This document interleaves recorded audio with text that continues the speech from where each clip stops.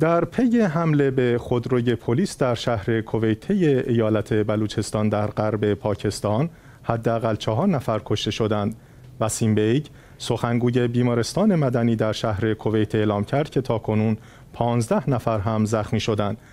از سوی دیگر میتاخان یکی از مقامهای پلیس حاضر در بیمارستان گفت خودروی مورد هدف متعلق به یک مقام ارشد پلیس بوده که در مسیر یکی از ایستگاه های پلیس قرار داشت این مقام ارشد, آس... این مقام ارشد آسیب ندیده اما راننده و مرد مسلح همراه او در این حمله جان باختند همچنین زهیب محسن بلوچ سخنگوی ارشد پلیس گفت تحقیقات اولیه نشان داد که چهار تا پنج کیلوگرم مواد منفجره روی یک موتورسیکلت قرار داده شده بود که با کنترل از راه دور منفجر شد.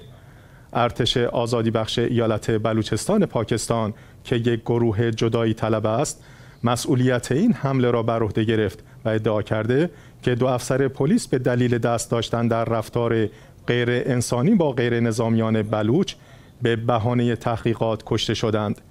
این دومین حمله به پلیس پاکستان در کمتر از 24 ساعت گذشته است.